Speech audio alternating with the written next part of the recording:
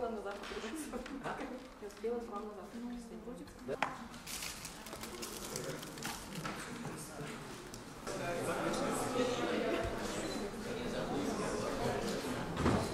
Ladies and gentlemen, wohl. Еще раз всем добрый день. Слышно? Так, слышно. А, еще раз всем добрый день.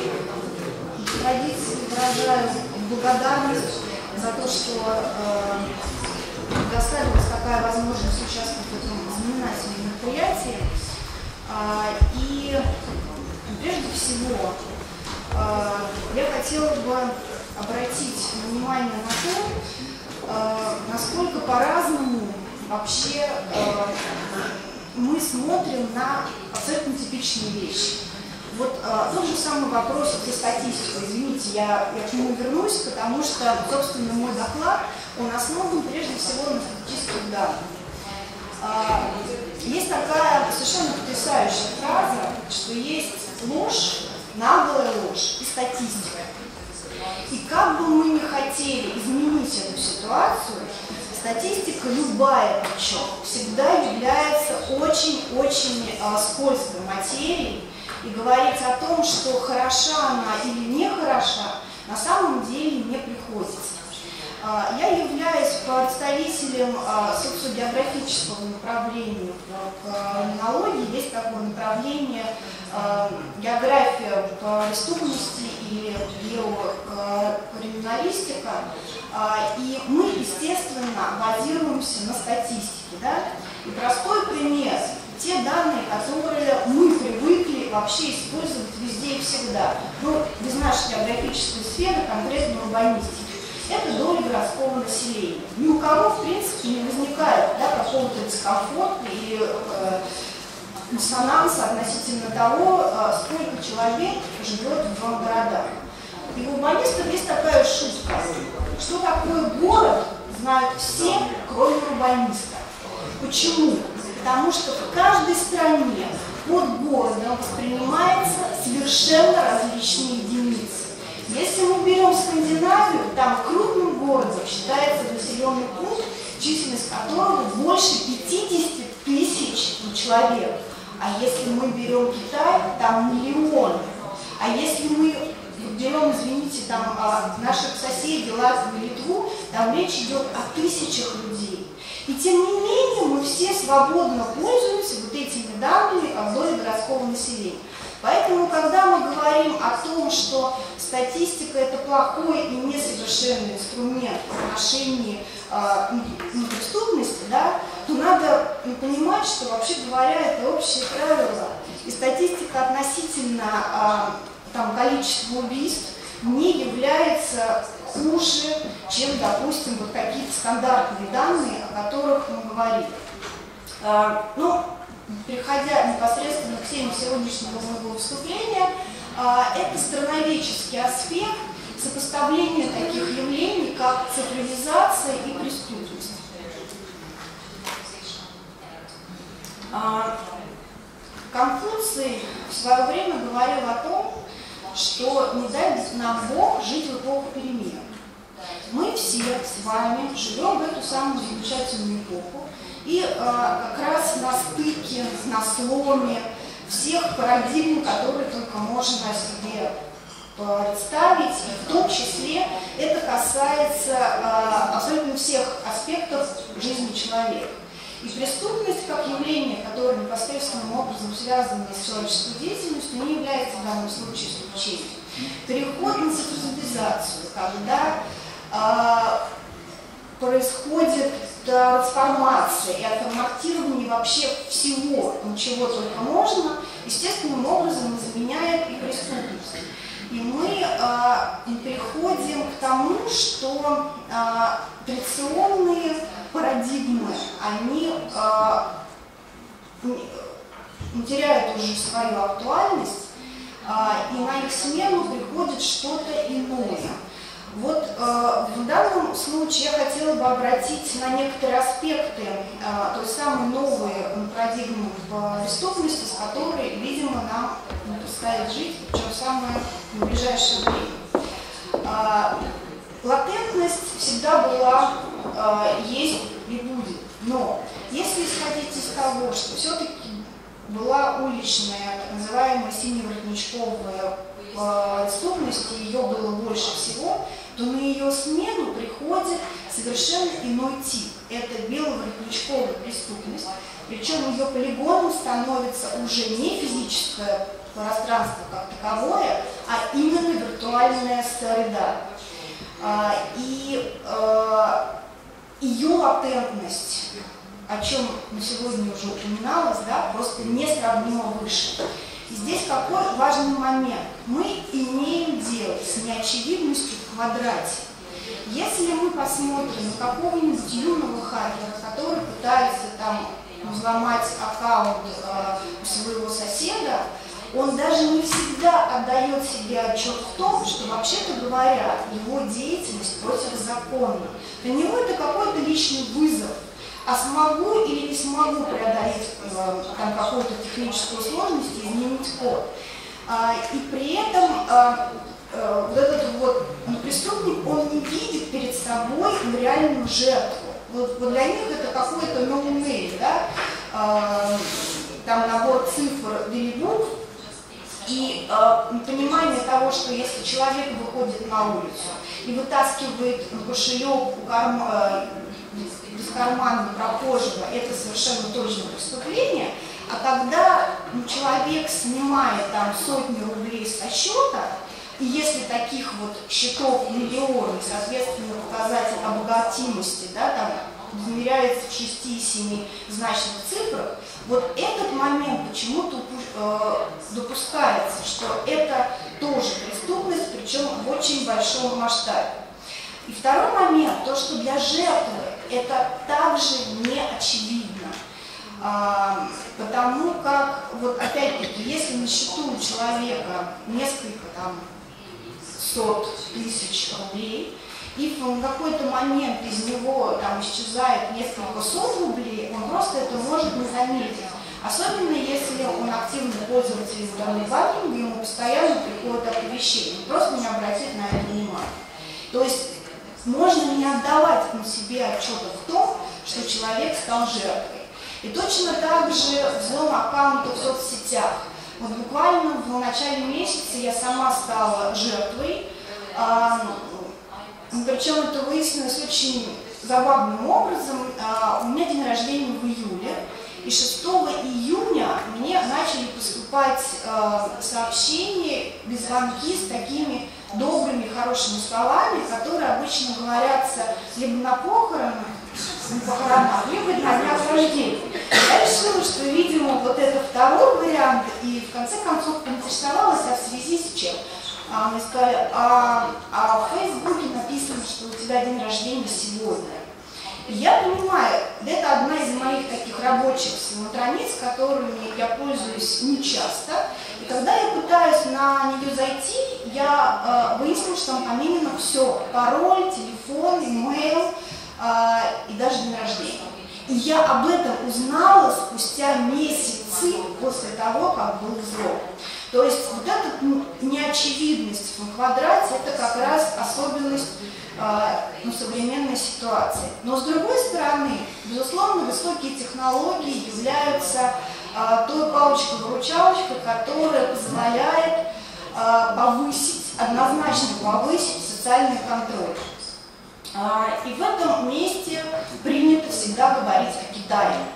Действительно, а, Китай – это страна, которая сейчас является мировым лидером а, по показателям слежения за собственным населением. В настоящий момент там уже а, больше двух миллионов тысяч камер, двух миллионов камер слежения, причем в ближайшие годы эти показатели увеличиваются в разы.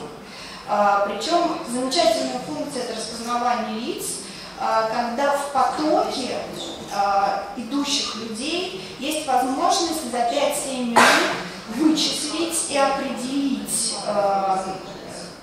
человека, который там где-то в базах фигурирует как подозреваемый, То есть, э, да причем не только определить, но и задержать его. Э, и вот этот вот момент э, неотвратимости и очень быстрого реагирования наказания, вот как э, то, что мы видели на слайде из игры престолов, да, пусть если не отрубается голова в тот же самый момент, то во всяком случае тут же выхватывается с толпы и задерживается.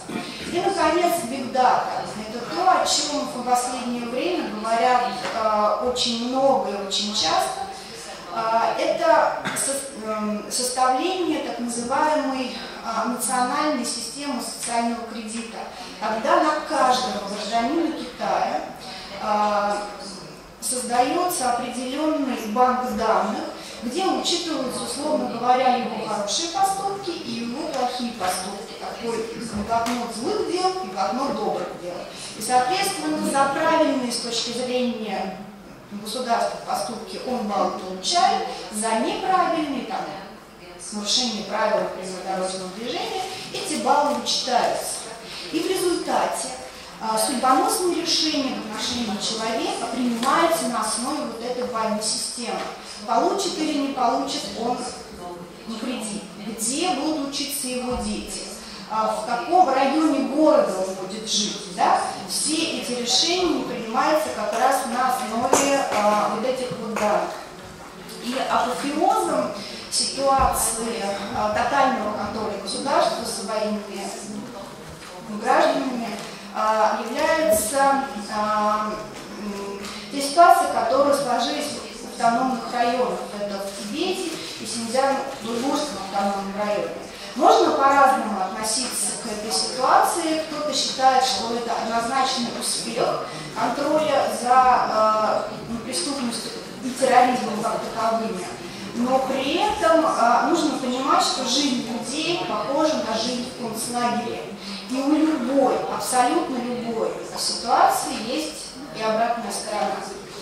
А, но если, а, причем нужно сказать, что вот эта вот система контроля, а, она активно экспортируется. И латиноамериканские страны, такие как Эквадор, такие как Куба, да, они активно у себя уже внедряют подобную систему. А, и пример того, насколько большими шагами а, шагает вот это вот наше целое будущее, которое мы, а, о котором мы читали лишь в романах «Антиутопия», 1984, а, «О дивный новый мир». То есть то, что казалось просто нонсенсом, да, это, собственно, ну, жестокая реальность сегодняшнего дня. Изменение радикальных примеров можно привести практику анонимного социального контроля, которая активно развивается прежде всего в американских городах. Исходя из, э, ну, вообще говоря, общегосударственных постулатов о демократии, слово «анонимность» там поставлено во главу угла. И поэтому разработаны специальные программы, Э, это приложение для смартфонов, где любой желающий может анонимно сообщить э, в отделение полиции о э, преступлении, которое совершается или которое, с точки зрения данного случая автора, да, может ну, каким-то его личным соображением совершиться. И, и переходя к той самой статистике, Буквально несколько слов хотела сказать э, про цифровизацию и то, как ее сейчас считают. Несмотря на то, что о цифровизации говорится много, э, собственно, исследований, которые позволяют по полочкам ну, разложить и сказать, что, где и как, э, достаточно ограниченное количество. И одно из самых авторитетных и таких долгоиграющих а, это исследование Европейской комиссии Digital Economy and Society Index. Он а, рассчитывается для стран, которые входят в ЕС, и плюс там еще парочка Норвегия и Швейцария. Но главное, что они дают представление о том, на каком уровне находится ну, цифровизация в странах Западной Европы. И здесь как раз очень интересен показатель э, лидеров. Э, это скандинавские страны, но при этом такие мощные э, европейские локомотивы, как Германия, Франция, Италия, как вы видите, они находят, э, находятся на весьма скромных местах. Сейчас мне отсюда сложно здесь показать. А, но их а, положение вот в этом вот в рейтинге цифровизации далеко не в первых строчках. И что интересно, если мы берем показатель уровня а, преднамеренных убийств как наиболее очевидному, да, наиболее э, такому яркому показателю, который сопоставим по странам, то мы э, даже без каких-то подсчетов корреляций чисто визуально видно, насколько э, находится в обратно пропорциональной связи уровень цифровизации растущий и снижающийся уровень преднамеренных убийств. Значит, в отношении тезиса о том, что снижается или не снижается преступность в мире в целом, а, действительно, можно сколь угодно долго сетовать на то, что а, статистика врет, но есть еще эпидемиологические опросы. Есть, а, в конце концов, экспертное мнение, есть ощущение даже людей относительно того, что происходит у них вокруг. И вот по этим данным точно так же подтверждается то, что, во всяком случае, тяжкая преступность скорее сокращается. Будем как бы ну, дипломатично выражаться. А, и еще одно исследование хотела бы сегодня представить. А, это исследование а, школ, а, международной школы Флейчера а, Института Давца а, совместно с таким авторитетным автором, как Мастеркард. И касается это а, тоже индустриализации исследование называется Digital. А, и по этим данным, в общем-то, тоже можно увидеть, что, например, на тот же список лидеров 60 а, стран пошло в это исследование, Россия на 39 месте, но при сопоставлении вот этих вот довольно разношерстных данных можно увидеть, что в общем-то тренд все равно присутствует. Это снижение уровня э, тяжких преступности, конкретного намеренных убийств при увеличении роли цивилизации. Есть ли пределы? Да? Э, предел есть. Я думаю, что мы никогда не доживем до того замечательного момента, когда преднамеренных убийств не будет вообще. Потому что у любой а, там, положительной девиации есть ее отрицательная сторона. И светлое будущее, в кавычках светлое, оно связано как раз с Даркнетом. Э, когда говорят об интернете, вообще очень любят приводить в качестве иллюстрации вот эту картинку с э, айсбергом показывая, что лишь маленькая часть сейчас находится на, на поверхности. Вот если мы говорим о киберпреступности, мы видим не просто маленькую часть айсберга видим, мы видим какие-то снежинки, потому что все остальное уходит как раз глубоко, глубоко под воду, а, и мы об этом вряд ли когда-либо узнаем. А, но закончить свое выступление я хотела бы цитатой а, Федора Ивановича Тютчева, который нам говорил о том, что блажен, кто посетил мир, его минуты роковые. Так что спасибо. Будем продолжать наше наблюдение и исследование. Спасибо. Скажите, пожалуйста, вот по вашему мнению, современные технологии тотального отслеживания контроля, опознавания лица, они позволят как-то радикально изменить ситуацию с преступностью? А, Дело в том, что эти технологии, как мне кажется, да, они изменят радикально вообще всю ситуацию, а не только с преступностью. Потому что вот даже уже сейчас, я даже ну, по своим детям могу судить, да, они мыслят совершенно по-другому. А, какие-нибудь там нейропсихологи говорят о том, что у них совершенно по-другому работает головной мозг. У них изменилась частота, она похожа на, на ту частоту, которую выдают гаджеты. И преступность, и вообще девиации как таковые, это просто один из, эм, одна из форм ну, выражения вот этих вот ну, глобальных изменений. Тут, эм, мне кажется, вот очень важный был вопрос поднят, э, что важнее, свобода или тотальная безопасность? Права человека. Вот, понимаете, когда мы говорим о том, что да, безопасно, вот в, в Китае действительно достигнут максимум, когда люди, чтобы выйти из одного здания в другое, они должны, как в банках, знаете, прикладывают идентификационную карточку. И а, да, там практически а, полностью искоренена преступность. Там нет уже речи ни о каком терроризме, никакой ценой. Превращение в концлагерь. в- Вот, в том-то все и дело, что это натуральные концлагеря, и все. И нужна ли нам такая безопасность? Но говорят, что уже вводится система социального кредита. Да, она уже, она уже пять лет как введена. То есть это только пока... э, э, вообще это мероприятие рассчитано на все полтора миллиарда жителей. Но пока это только вот в определенных районах. э, все рапортуют о том, что система эффективна, что все хорошо. И вот я говорю, что это уже активно пошло по миру большими шагами. Латинская Америка взяла это опыт на вооружение. У нас будет внедрено? А, а в Москве уже есть представительство. Поэтому То есть Орвелл 2084. welcome в наше светлое будущее.